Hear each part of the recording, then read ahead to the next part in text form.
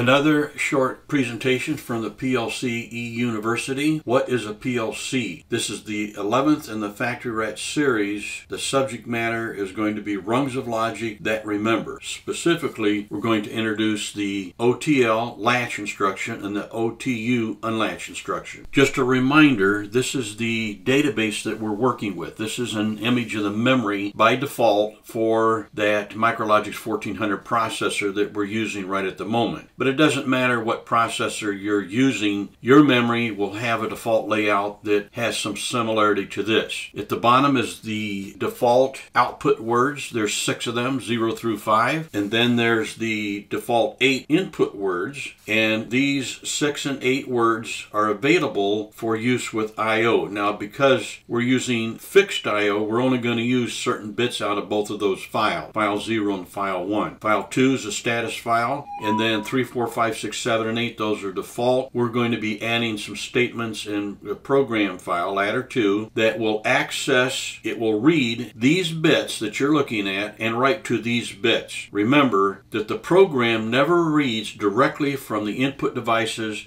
and it never writes directly to the output devices. Everything takes place right here in RAM. This is where we left the program in a previous presentation. We had two pairs of rungs. One used internal bits. We read internal bits and we toggle those manually from the keyboard to control internal bits. And then this pair of bits we used real inputs. I'm pushing a push button, it's pressed, now it's not. And the logic is identical. They're all bits in memory. The only difference is that we have physical inputs that dominate the state of this bit right here, an input bit. And this bit, if the if the program is running, if the controller's in the run mode, then the state of this bit dominates that output. We are online, as you can see up here, we're in remote run. I'm going to put this in the offline mode. I'm going to let it save. I'm going to let it upload the data table. That's not really necessary. Now we're offline. I'm going to delete these rungs. I'm going to put the focus on the first rung and then delete, delete, delete, delete. Add a new rung, new instruction, put the focus down here and then just click on the instruction you want and it'll pop in for addresses locations in memory. I'm going to use our actual inputs when I hit enter, it completes the actual memory location, i colon 0 dot 0, and an output address. Click here, O0 slash 0. With the previous logic, when this went false, that was de-energized. So let's download this and see the difference. I'm going to verify it, and then I'm going to go to comms, system comms. I get a Who Active online. I click on my processor, and then I click download. Yes, go ahead and download. It's in the run mode. You want to switch to the program mode? Yes, I do.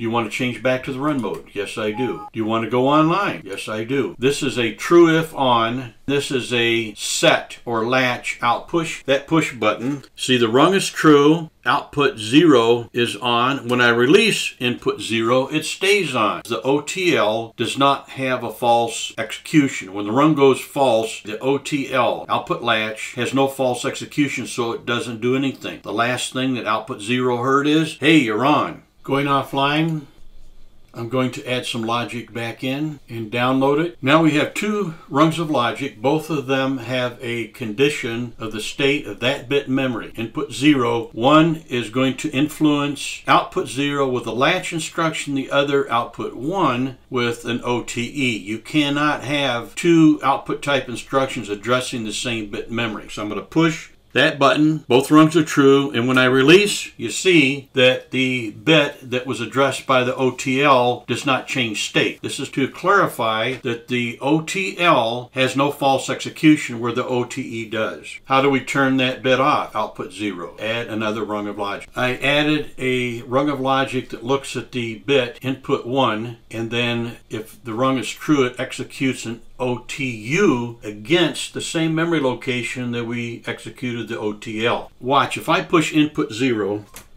nothing changes for output 0. If I push input 1, output 0 instantly goes off and release, it stays off. So the, the L and the U, the OTL and OTU have a true execution only, no false execution. That's latch and unlatch. Quick review with the true input 0 and the OTE, When the rung is true, the OTE turns on that bit, bit 1, output 1. When the rung is false, it turns it off. When it's true, it turns it on. When it's false, it turns it off. However, with the OTL, when the rung is true, it turns it on.